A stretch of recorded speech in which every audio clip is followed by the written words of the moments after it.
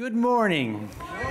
Great. All right, let's get going. Uh, blood circulating, a lot of exciting things to do today together. So, uh, my name is Chris Bray. I chair the Senate Natural Resources and Energy Committee, and I also have the um, pleasure of serving today on this panel with you all.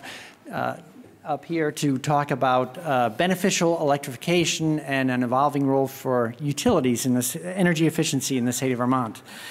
Um, you know, time's our most precious thing that we have to spend, and so I'm really thankful that you're spending your time here uh, with all of us today at this panel and other panels. Um, and in order to make it productive, I'd like to uh, think of this panel not as just an information sharing, but as a training session. Uh, because the implication with training is that when you leave, you're going to use that training to do something. And the reason I'm thinking more about the, the notion of connecting it to getting something done is that uh, I'm sensing this summer and fall a greater than ever a sense of urgency to make progress on climate and environmental issues. And um, I don't know if people have that same feeling or not. All right, you're pretty quiet on that. Um, the uh, the, you know, I, for instance, uh, just one small data point. The, the largest demonstration in Burlington's history in decades was for the climate strike just a week ago. So there is, I think, a much broader, deeper uh, shared sense of the need to make uh, tangible progress. Um, and at the same time, though, I hear in my own language talking to my colleagues, peers, the public, almost an apologetic note um, when I'm trying to talk about climate and environmental issues, something along the lines of, you know, I hate to bother you, um, the planet is on fire, can we talk about climate for a minute? And, and yet, um, that to me feels like having my weight in my heels. It's a weak position to make an ask and uh, to do work with people from. So I'd like to find, I am experimenting with finding ways to get my weight forward, to lean into the work, to be comfortable saying that we need to be comfortable, all of us, saying that there's more work to be done sooner. And uh, so I want to do an experiment with you all, and that is the first thing. It sounds so. First, if everyone could stand up, we'll see how this goes. It may be uh, something that we can all use after. So I was an EMT and I was trained to respond to emergencies. It's nothing dramatic in a certain way. Uh, the alarm sounds, you travel to the scene, you use your training to walk into an emergency that may involve fire, car wrecks, screaming, blood, mayhem, uh, and then you quietly focus and uh, take steps designed to save lives. And that's it, that's the job. So when I look at the environment, I see an emergency. Um, the alarm is sounding, you know, it's like, in the Midwest, three floods in 10 years that are labeled once in 500 year floods, or Greenland's ice shelf melting last on August 3rd. Enough water was released to fill 4.4 million Olympic swimming pools in a day, uh, 80 million pools in the month. Uh, the Bahamas got devastated by Dorian and you see the photos, it looks like some sort of monstrous weed whacker came through and, and decimated the microphone and the island.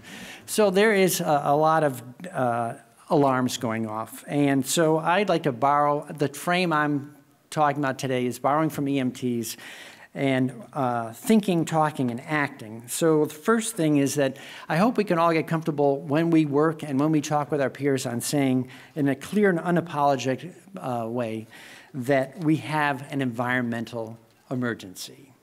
Not a particularly dramatic statement, but clear and emphatic. It's acknowledging the situation right in front of us. So this is a repeat after me moment. Uh, you know, I'd like us all to say, we have an environmental emergency. Ready, set, your turn. We have an environmental emergency. I'm trying to get comfortable using that language, and I hope we all can, seriously. The next thing is when you're an EMT, so you get to this emergency um, and then you act. And so the next thing I would say is using my training, I will take appropriate and necessary action. And that's why I'm calling this training today. So let's try that one together. Using my training, I will take necessary and appropriate action. That's it. Great. Thank you. Please take your seats. I'll encourage you to investigate using that language as you continue your work um, so we can all lean into this because we need to work faster. Leaning on, holding onto that EMT frame of mind, um, I think about this panel is becomes not just information but training so we can take appropriate and necessary action in the coming year. And um, so I want to thank everyone for standing up, for speaking aloud, uh, for leaning in. And now to help us with a training, I would like to introduce two great trainers in the state of Vermont. Uh, they are Rebecca Foster, who's Director of Efficiency Vermont, and Joni uh, Sliger, a fellow at the Regulatory Assistance Project.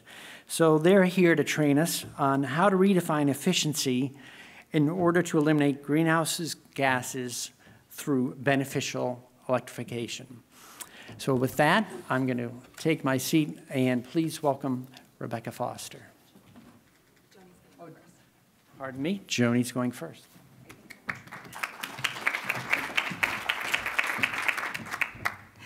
Thank you, Senator Bray. It's a pleasure to join you all today. As he said, my name is Joni Sliger, and I am a fellow at the Regulatory Assistance Project. Some of you may know us, but for those who don't, we're an independent, nonpartisan NGO uh, headquartered here in Vermont, and we're dedicated to accelerating the transition to a clean, reliable, and efficient future. I'm particularly pleased to be speaking with you today on efficiency. It's a matter near and dear to the heart of RAP and to many of those who work there. Um, several of my colleagues were uh, working at when it was called the Public Service Board in Vermont uh, when the energy efficiency utility was being developed. Um, and in the interest of full disclosure, it's still a topic that we work on today. One of my colleagues is the chair of the board at VEIC. Um, so working on it in his free time. I'm not here to talk about either of those. I'm here to talk about some of what RAP has been thinking about, about how we can reapproach energy efficiency in a way to help eliminate climate pollution. So, RAP has a saying, efficiency is the answer. Now what's the question? That has been true for decades. Efficiency is our least cost resource. When we make cost, cost effective investments in energy efficiency, it saves money. It saves money for ratepayers, the utility, and society as a whole. Um, this graphic is what we lovingly refer to as the layer cake of benefits from energy efficiency. Um, so I want to assure you that in talking about redefining energy efficiency today, it's not to say that it no longer has value or place. That is, the opposite of that is true. It's just a question of how do we frame the question. So, first today, I'm going to talk about how we might redefine it, how we might reapproach it and think differently. Then I'm going to follow that with a beginning to think about what the implications of that are. So, Generally speaking, across this country and in many others, we've tended to approach energy efficiency in terms of a single fuel. Many of our policies are aimed at increasing energy efficiency in using electricity, in using natural gas, in using gasoline, in using a host of other fuels.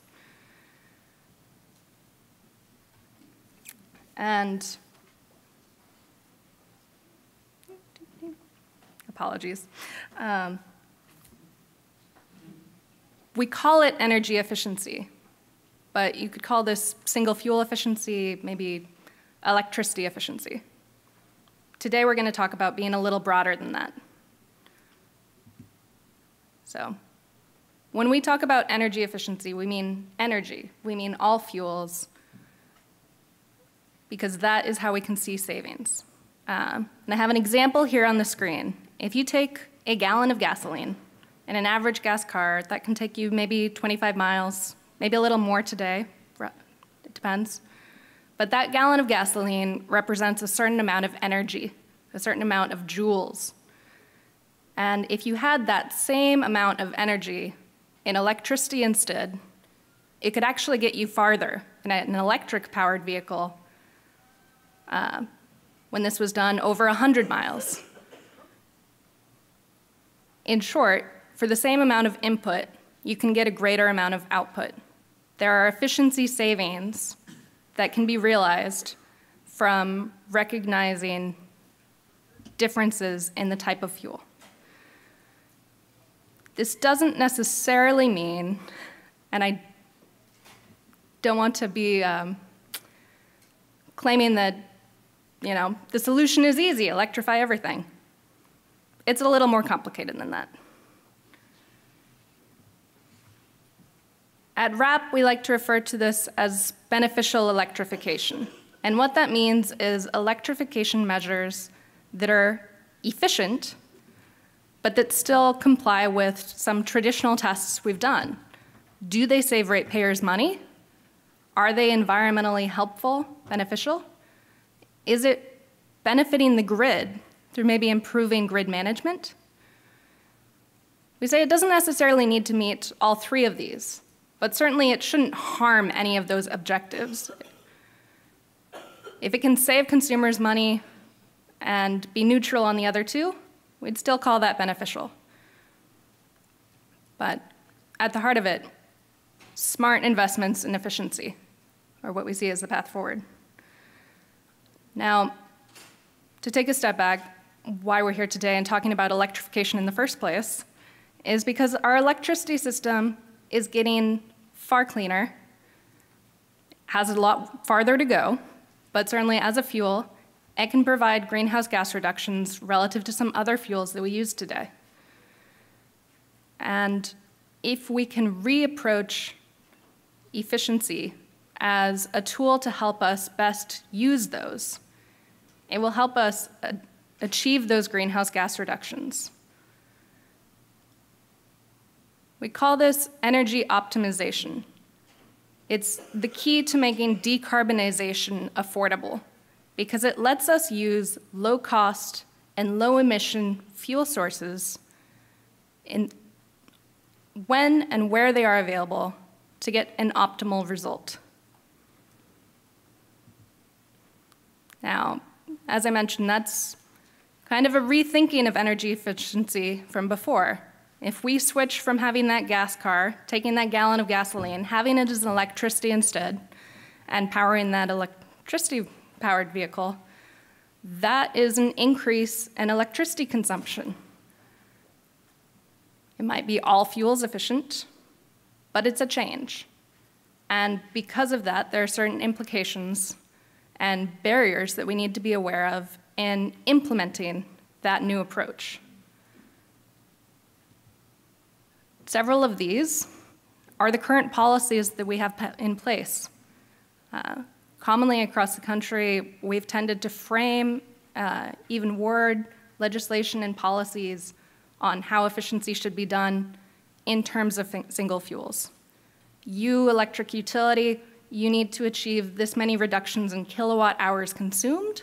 You need to achieve this reduction in a percentage of your sales. Like I said, electricity efficiency. Some other policies we've had, and in many places continue to have, are what we call prohibitions on load building or fuel switching. Um, what this means is you electric utility or most other utilities um, in general, increasing your sales of your product through the use of ratepayer money is not something you're allowed to do. In a world where we can think of all fuels efficiency, of energy optimization as something that helps us move towards affordable decarbonization, policies like these need to be updated. There are several states that have begun to do this. So the state of Massachusetts is one of, I believe, 27 states in the country that has an energy efficiency resource standard. It is framed, the goals, in terms of uh, reductions in consumption of the fuel, but they also have requirements to meet in terms of their overall energy usage. They have targets that are framed in million metric British thermal units. Similarly, in California, just this past August, they updated the test they had on fuel switching, a test they originally adopted in 1992, um, to make it easier to, for efficiency administrators to implement measures that are efficient, but that require the switching from one regulated fuel to another. And I want to bring this back to really talk about decarbonization and how this is affordable with another example. Um, the Sacramento Municipal Utility District in California, uh, incidentally not subject to that fuel switching test that was recently updated, uh, has adopted greenhouse gas reduction goals that are stronger than the state of California's. And it's aiming to reach those goals not through 100% electricity, which they have not yet realized uh, how to do that cost effectively, but to have a mix of cleaner electricity and targeted investments in other areas to realize greenhouse gas reductions in other sectors, helping their consumers move to electrified vehicles, helping them adopt electric appliances like water heaters and space heaters. And by doing this, they have run that analysis, seen the data, and are aiming to become net zero by 2040.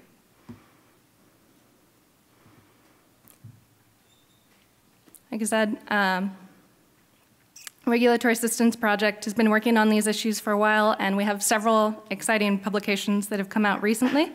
Uh, I'm here today talking about redefining energy efficiency, which I'm happy to say was a topic that we were recently able to publish an article on in the Electricity Journal. Um, I bring that up in particular to highlight because right now is the open access period where you can get a copy of it for free. Uh, best way to do that is uh, follow one of the links. Uh, John Shenot, one of my colleagues, recently wrote a blog on energy optimization on our website. It has links not only to the article that I was involved in, but to all of the others in the journal which we helped on or co-wrote. Um, and many others that I uh, highly recommend, although, not although, apologies. I was not involved in these others, but there's a host of resources. Like I said, I'm a fellow at RAP. I have deeply enjoyed learning everything I can, and I think they have a wealth of information that can be helpful. So, thank you.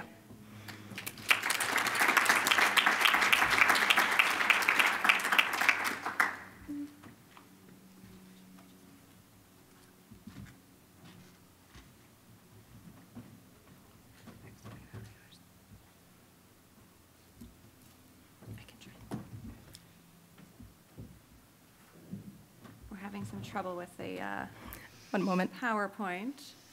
Could somebody come up and help with the AV?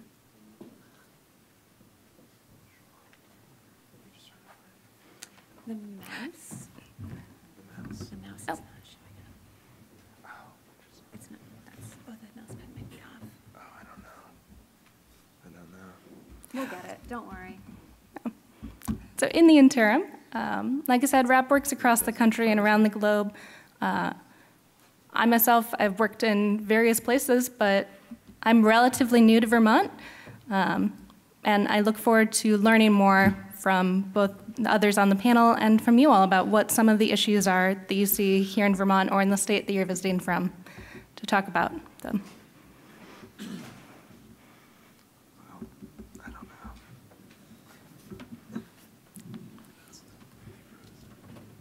What is this?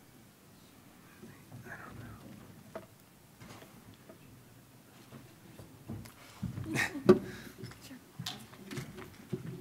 Ask if there's an It's like, oh, here we go. Oh, we got it. I I found it. Yeah, so we want to, actually, it's not this one. It's not the same slide. Okay. Now that you have it. Yeah, there we go. Okay, so which one? This one? Yep. Wonderful. Let's see if it shows up. Slideshow from beginning. Perfect. Great. All right. Thank you. With that out of the way, there'll be no more technical glitches, I'm sure. Um, so I'm Rebecca Foster, Director of Efficiency Vermont, and I'm really happy to be here today to talk about efficiency at a renewables conference. You know, what, what's that all about?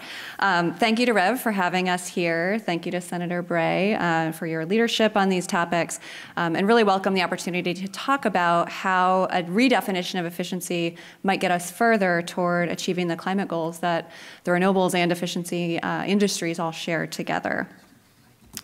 So I want to start with a little bit of um, background information. So I apologize if folks are fully aware of all of this, but just in case, I want to talk for a moment or two about Efficiency Vermont's work.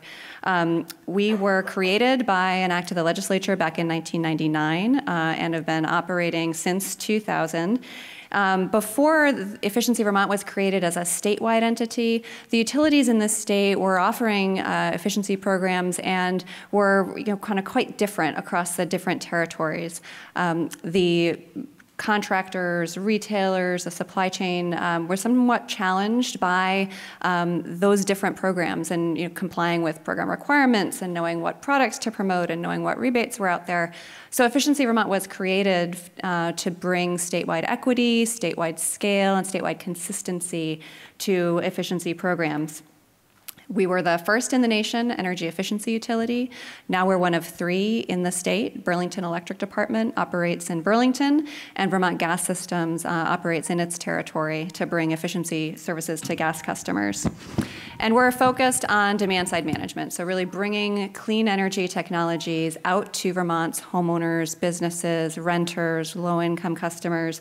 Um, and we do this through education, technical assistance, incentives, and really you know trying to break down the barriers that keep people from moving forward adopting uh, clean energy and efficient technologies we're operated by an organization called VEIC, Vermont Energy Investment Corporation, and overseen by the Public Utility Commission. So that's who we are. Um, a little bit about the history.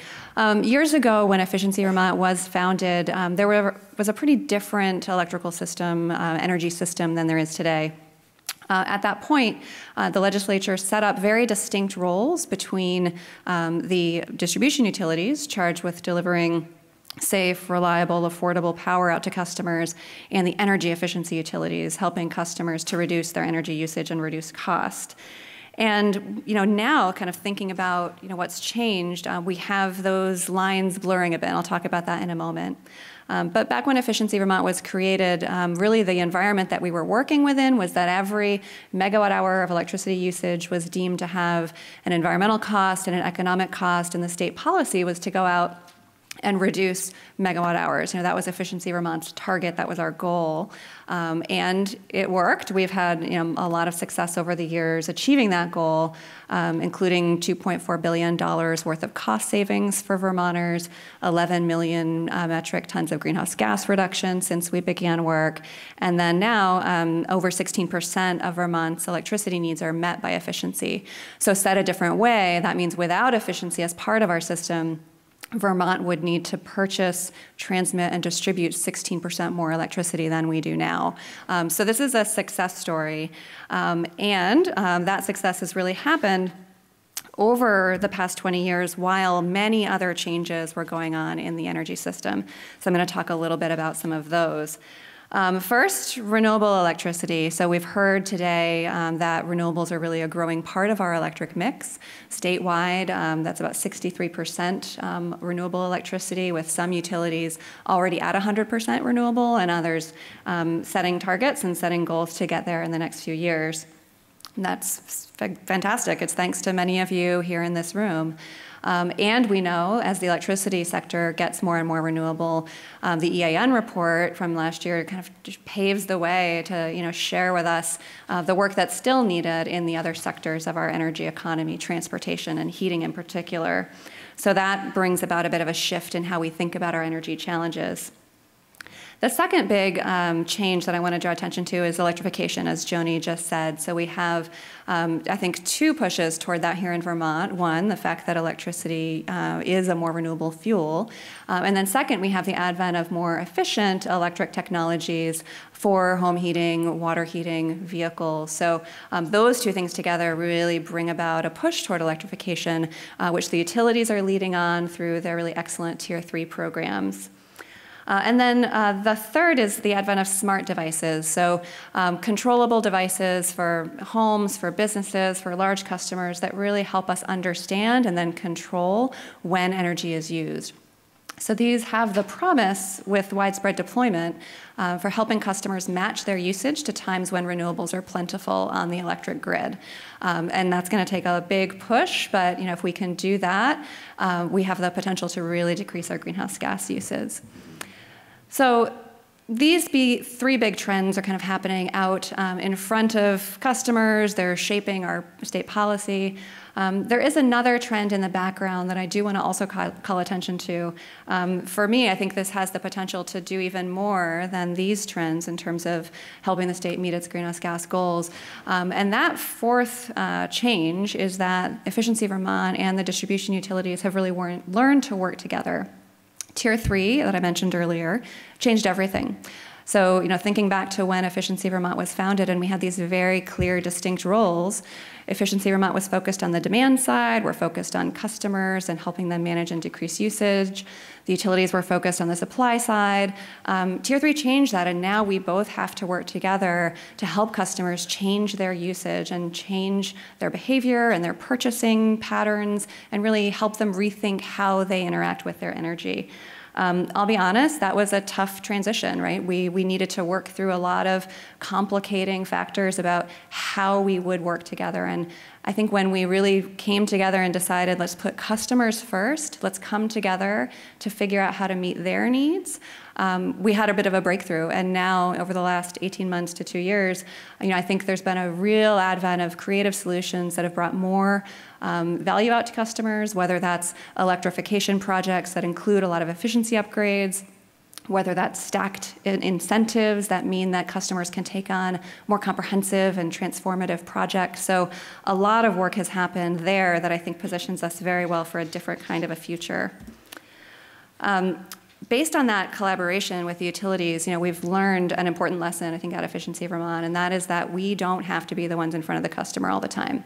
Uh, you know, this is an all hands on deck climate emergency that we're dealing with. Uh, we need everybody to be in front of customers talking about what they can do to reduce their energy cost and their greenhouse gas usage.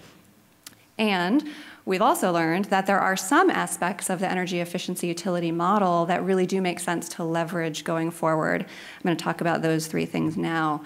Um, one is statewide infrastructure. So, um, over the last 19 years, ratepayers have invested in Efficiency Vermont and invested in the processes that we use to run programs and process rebates and the infrastructure to be able to have staff in almost every county of the, the state and go out and talk with customers and develop uh, relationships that we can leverage over time.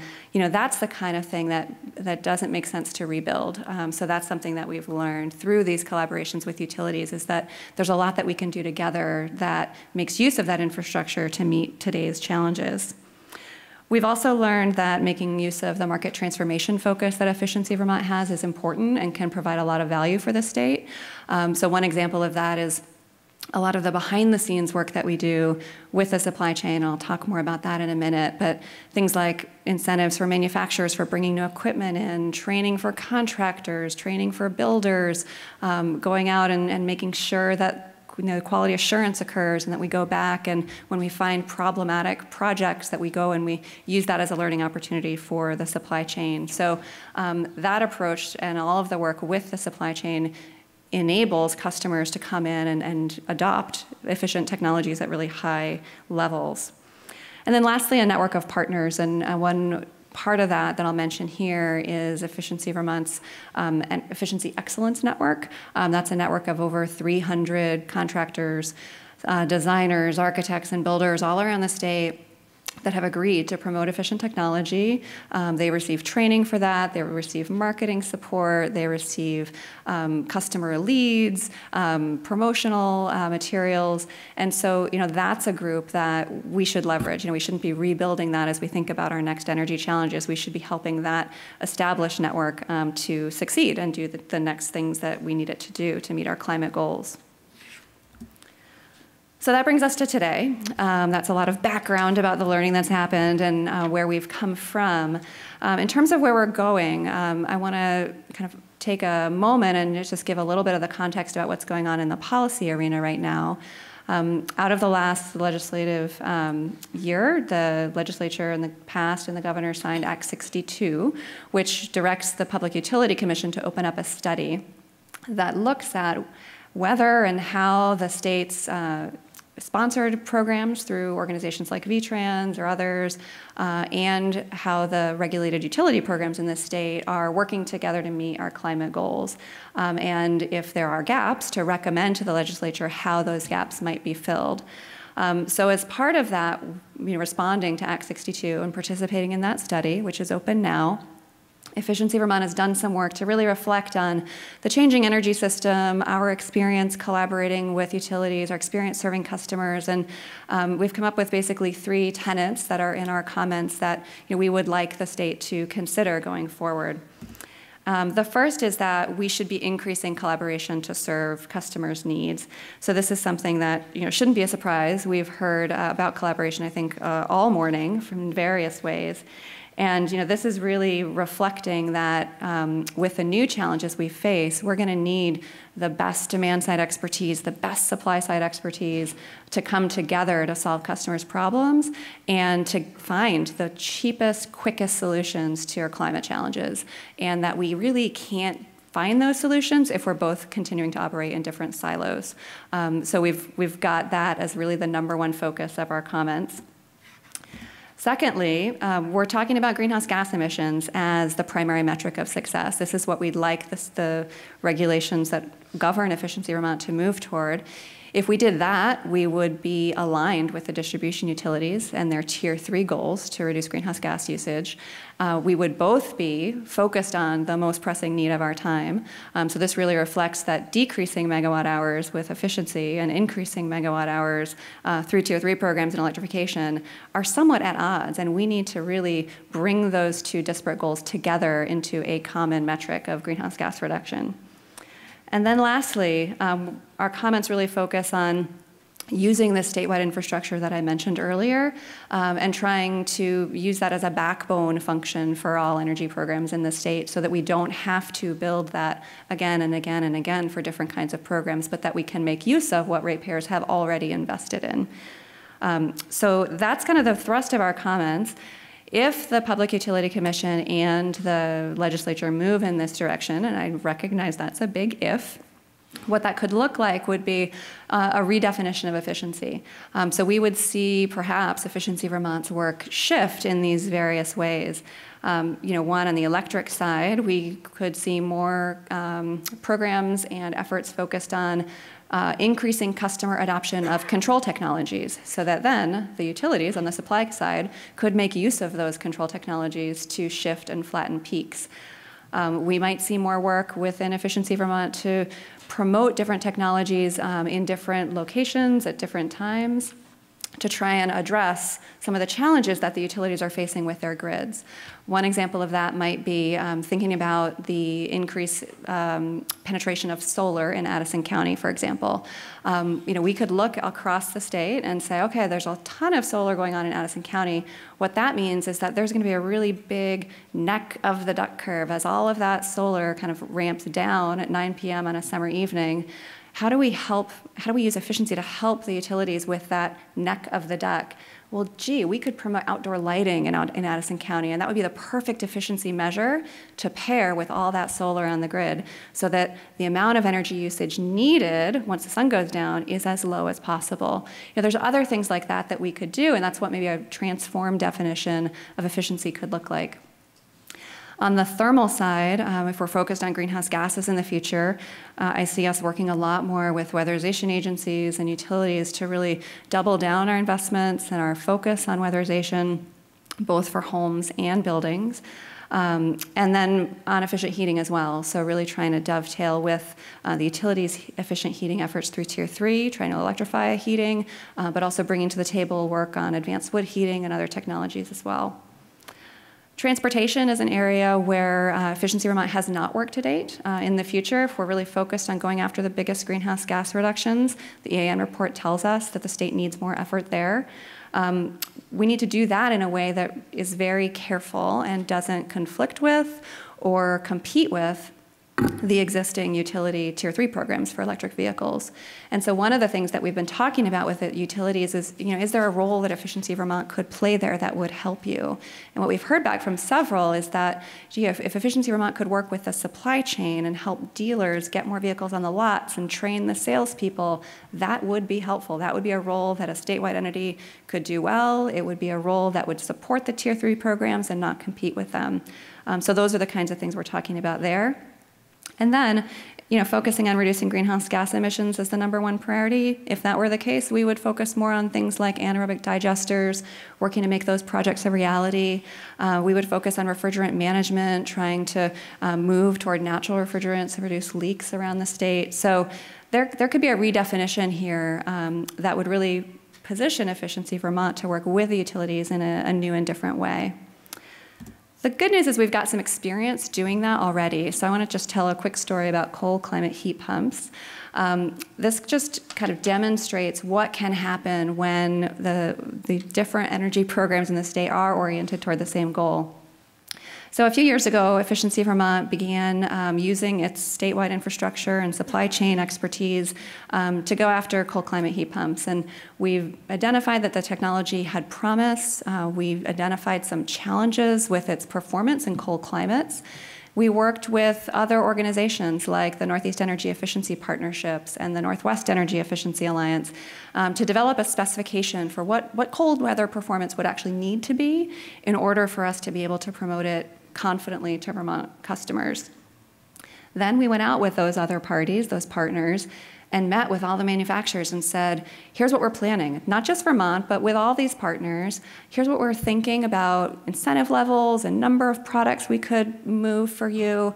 Uh, but in order to get access to all of these incentives, you manufacturers have to meet this specification. And lo and behold, they played ball. They decided to do it. Um, then we got engaged with the distributors because we know when someone's boiler fails in January, the heat pump has to be available same day. Um, and so we got the distributors to stock the products by working with them and making sure that they were comfortable, you know, stocking. They knew what they needed to do. They were not um, encountering any business risk in bringing these products in. And then we trained contractors uh, on what good applications look like and on you know, how to install these things so that we wouldn't have a lot of failures out in the field. We set up rebate processing infrastructure that was capable of quickly and efficiently processing thousands of units a year. Um, and then what most people saw is that we promoted these out to customers and provided incentives. So all of that background work, you know, that backbone work that I uh, just described, um, really set the stage. And then as Efficiency um, Vermont, you know, promoted them, and as the distribution utilities started their Tier 3 programs, we had a really robust market to work with. Um, and then Tier 3 programs came online. Efficiency Vermont has backed away from our rebates on that technology, and the Tier 3 programs have stepped in um, to promote that heavily themselves. So we're working together in partnership to really transition the market here um, and really you know doing different things having different kinds of roles that ultimately lead to a huge success for the state. You know we're about the second per capita in sales of cold climate heat pumps in the whole country second only to maine. Um, that's a huge success and we would love to repl replicate that um, as we move forward through our energy transition so I'll close now um, just by saying, you know, we know the urgency is real. We've heard that many times throughout the morning already. Um, you know, we have 11.2 years to dramatically reduce our emissions rate and bend the curve downward. Um, I'm optimistic because we have this opportunity now with Act 62 to rethink how we deliver these programs. We have a baseline of partnership that you know really demonstrates how we could work effectively together. Um, and you know, we've done some initial modeling, and if we changed Efficiency Vermont's portfolio to focus on greenhouse gas reduction instead of megawatt hour reduction, um, our initial estimates are that we could save three times the greenhouse gases that we do today. Um, so we have some opportunities in front of us. We're excited about Act 62 and really encourage um, everyone in this room to get involved in that. I see it as really um, a number one mechanism to start to shift our work and um, accomplish the greatest good that we can for the state of Vermont. Thank you.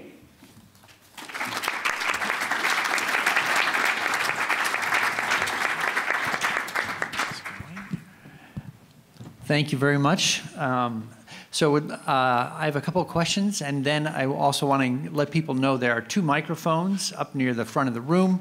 So if you'd like to ask a question, if you uh, just position yourself there, we'll get some audience questions in as well.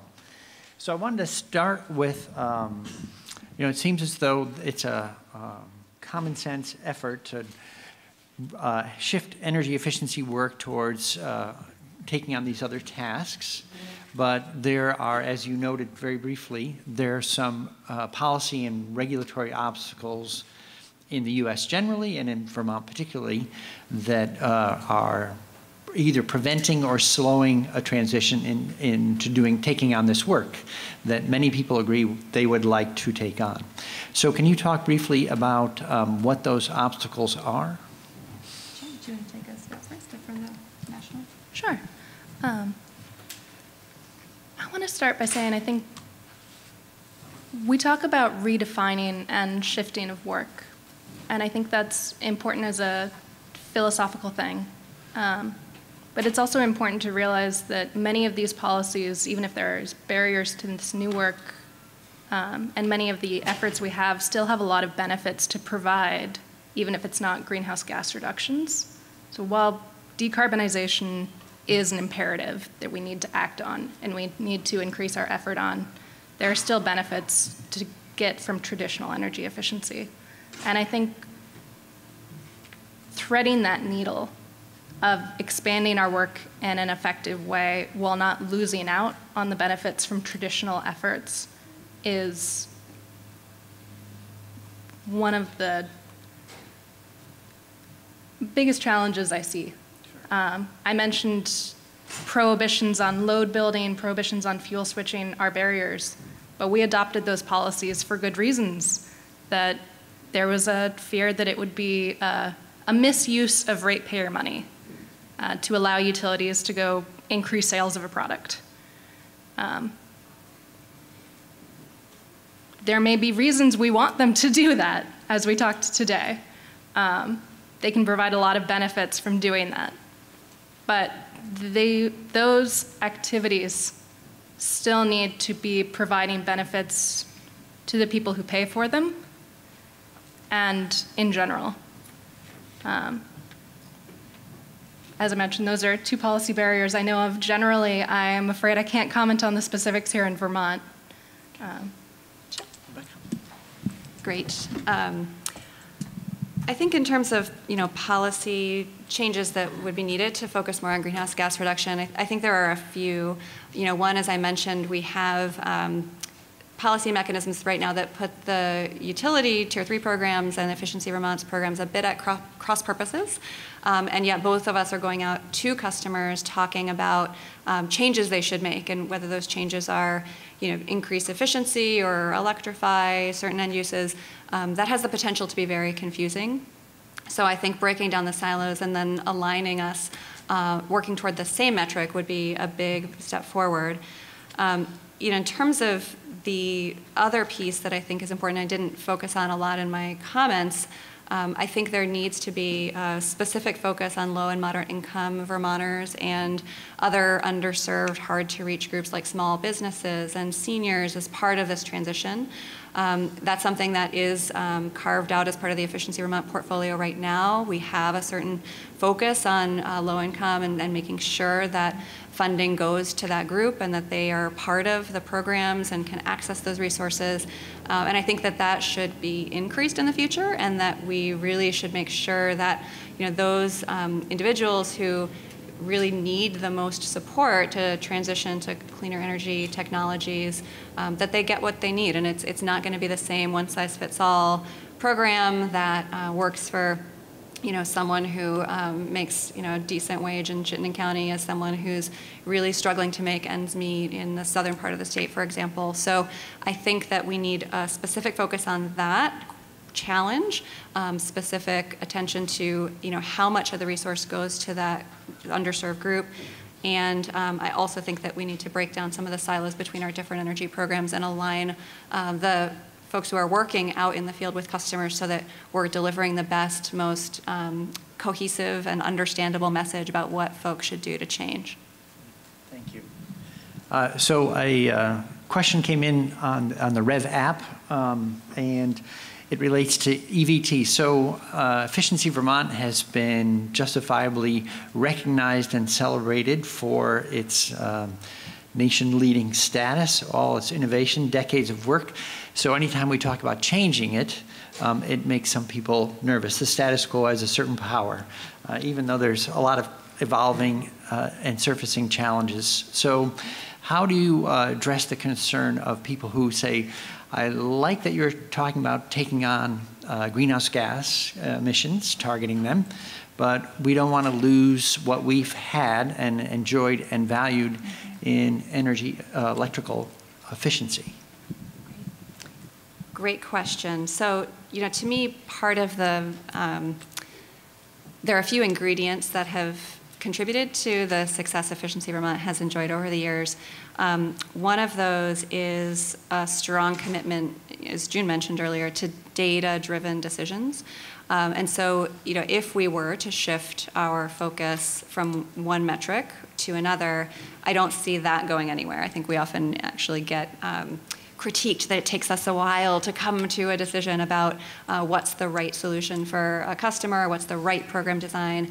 Um, but that that's really actually a valuable process that we go through in terms of deciding um, you know, what's a proposal that will maximize benefits out to the state and reach the right um, customer group with the right offer at the right time in the right way. Um, so that, I think, has been one of the facets of the successful programs that we've been able to roll out over the years. I don't see that changing at all.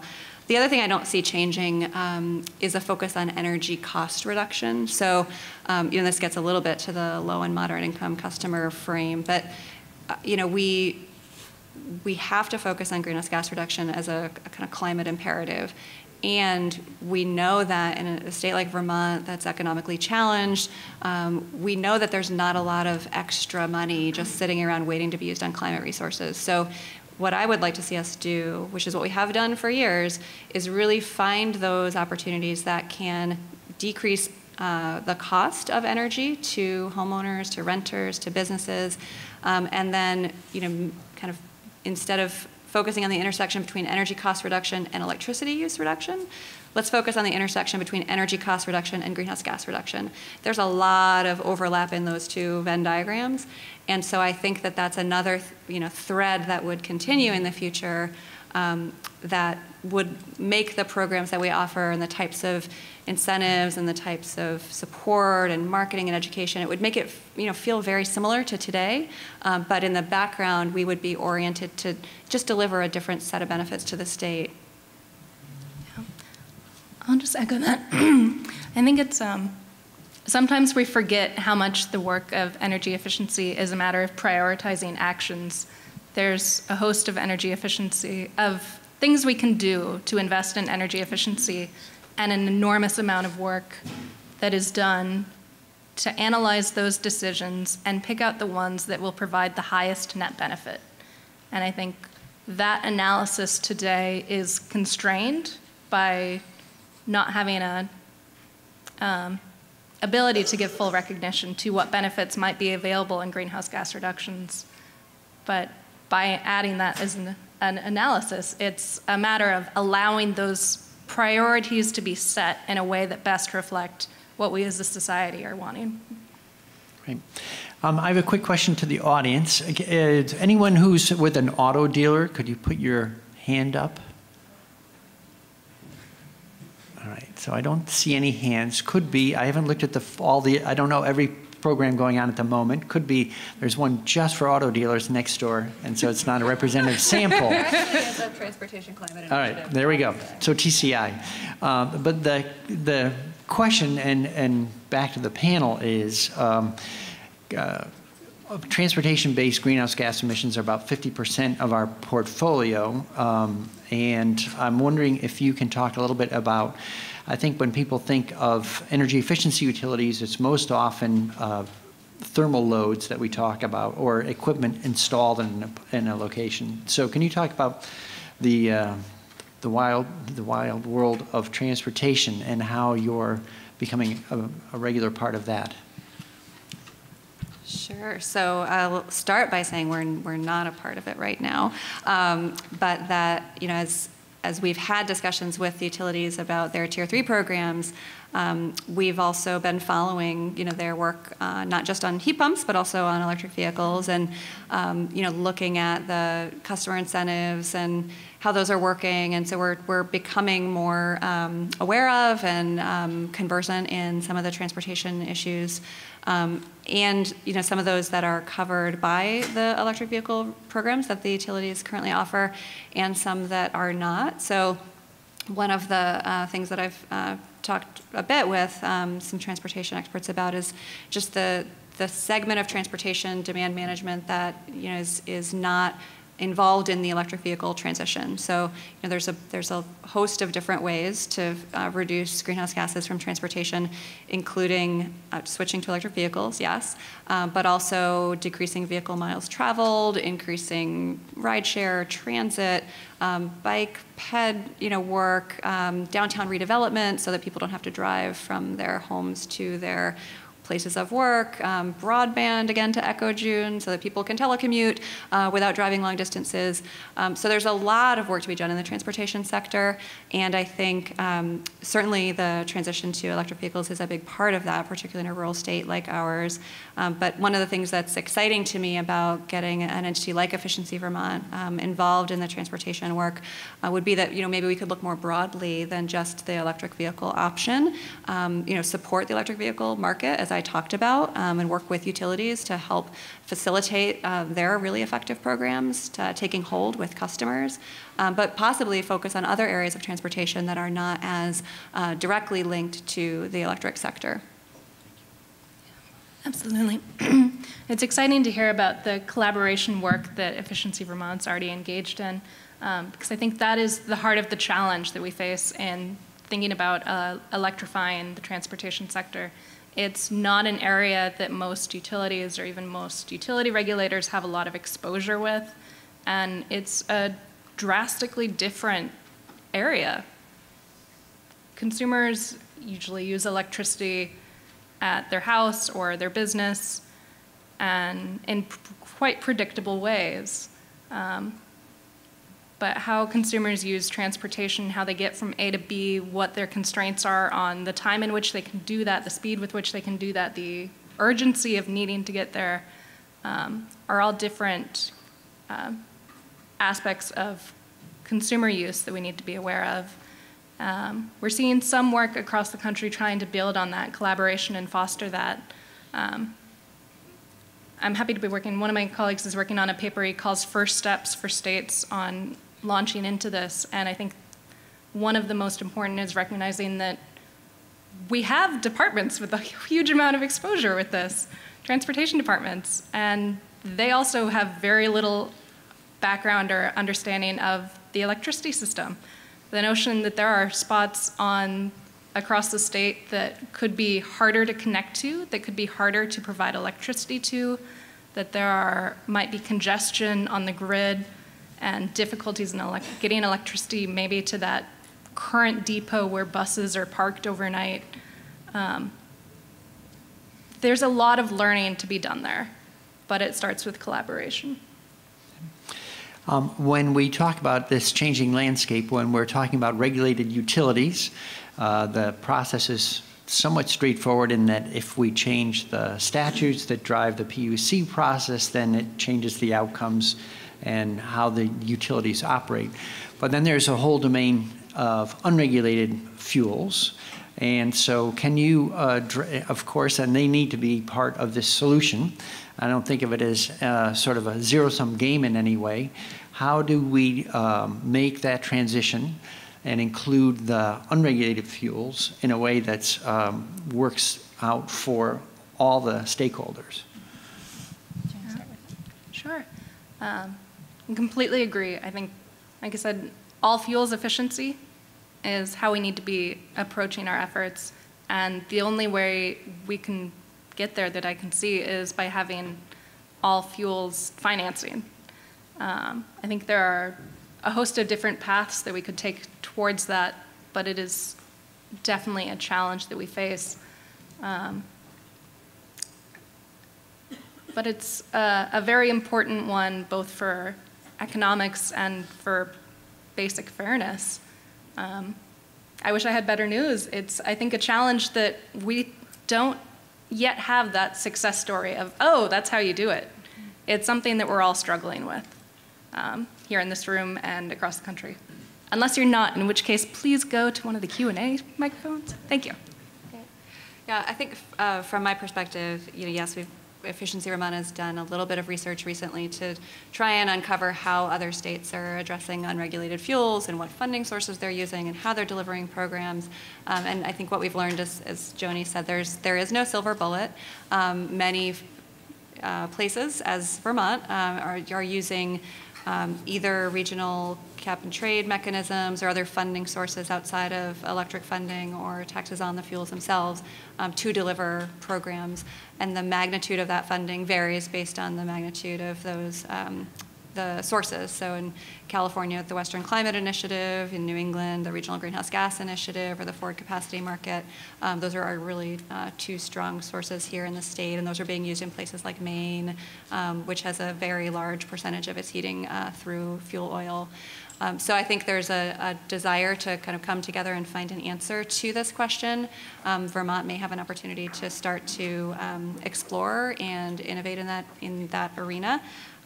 I was also, you know, I'll just note, very interested to hear recently um, an announcement by the Northeast Fuel Dealers Association that they're moving toward 100% renewable fuel oil by 2050. So um, I think there's um, some movement there as well. I think the fuel dealers are hearing uh, the strong desire uh, from their customers to be more renewable, to reduce greenhouse gas emissions.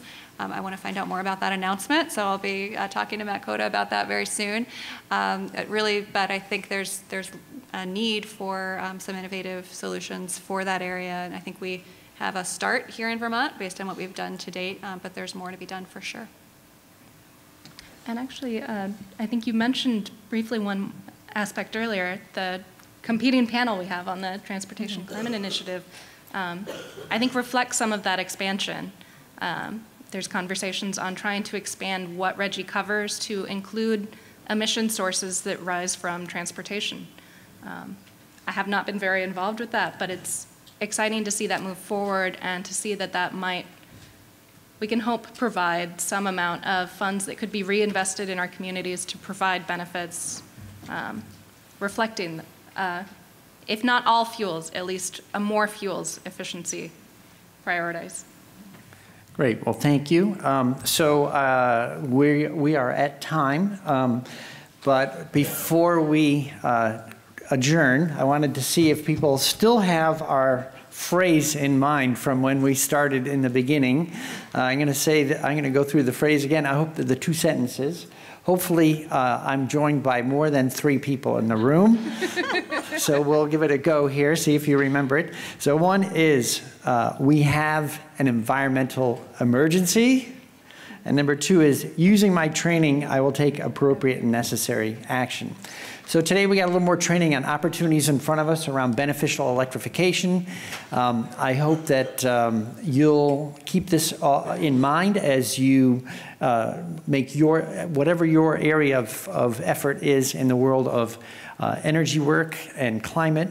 Um, keep this in mind. And I know that our, all the partners in the room um, are interested in finding positive collaborations to help move forward at a uh, faster pace, more broadly, more deeply than what we've been able to do in the last uh, decade. So thanks again, and please thank our panel, Rebecca Foster and Joni Sliger.